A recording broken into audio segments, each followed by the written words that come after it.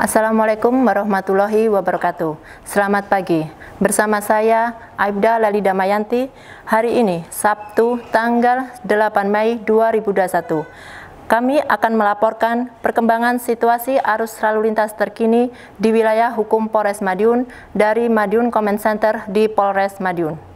Hasil dari pantauan kami sejak tadi pagi, situasi arus lalu lintas di wilayah hukum Polres Madiun terpantau lancar dan terkendali.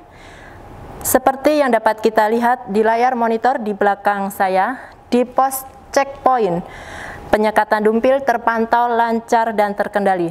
Tidak ada peningkatan kendaraan dari arah Surabaya menuju ke Madiun, dan terpantau nihil kemacetan. Demikian juga dari pos checkpoint penyekatan Caruban, terpantau lancar dan terkendali.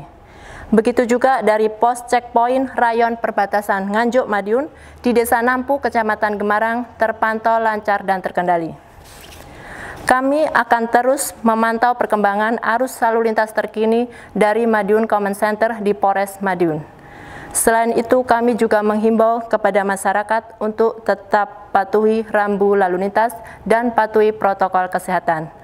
Dan kami akan terus menghimbau kepada masyarakat Madiun dan di luar Kabupaten Madiun untuk tidak melakukan mudik lebaran tahun 2021.